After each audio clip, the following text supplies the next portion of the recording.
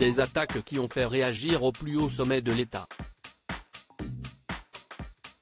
Alors qu'il devait se produire en concert dans une ancienne église située à Metz, Bilal Hassani a été contraint d'annuler sa prestation.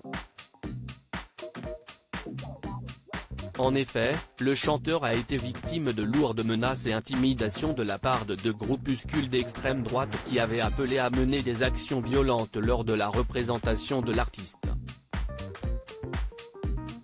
Invité sur le plateau de Quotidien, le mardi 11 avril 2023, Bilal Hassani et sa maman ont indiqué avoir déposé plusieurs plaintes pour incitation à la haine et à la violence mais aussi pour discrimination. Une décision importante. On a porté plainte contre Aurora, un mouvement d'extrême droite, contre Civitas et contre Discussion Nati Metz. Ce sont ces derniers qui ont tenu des propos menaçants et ont voulu mener des actions violentes le jour du concert, a expliqué Amina Fruoff, manager et maire de Bilal Hassani. Ce dernier s'est alors défendu, on voulait offrir des spectacles dans les lieux atypiques, beaux, cool. Certains extrémistes ont essayé de détourner un peu le truc et si est parti en cacahuète, a regretté le chanteur. D'autres plaintes ont également été déposées contre plusieurs personnes qui ont utilisé Twitter pour inciter à la haine. On va laisser les choses suivre leur cours, a conclu Amina Fruoff.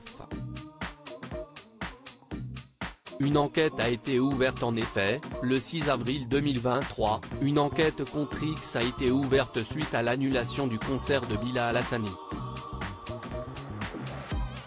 Le procureur de la République adjoint Thomas Bernard a alors indiqué que cette enquête avait été ouverte pour menace de délit contre les personnes en raison de leur orientation sexuelle, de provocation à la haine ou à la violence contre une personne en raison de l'orientation sexuelle et de provocation publique et directe non suivie des faits à commettre un crime ou un délit.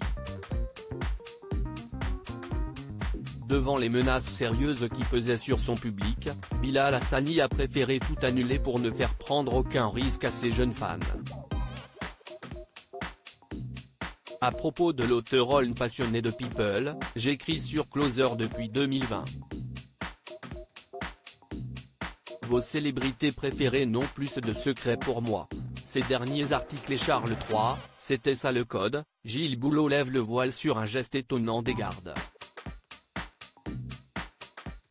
Hauts-de-Seine, une simple querelle à la caisse d'un supermarché débouche sur un terrible drame et Didier Deschamps, manipulateur, menteur.